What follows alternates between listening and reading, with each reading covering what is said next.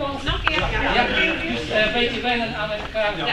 Zodra koren die een beetje samen te begeleiden. Alleen eh, soms die de eh, kleine dingetjes tussen, tussen zinnen van koren jullie een beetje. Maar dat aan de gewoon. Zodra solo dan, dat is andere geval. Dat is wel, kan wel gaan. Goed.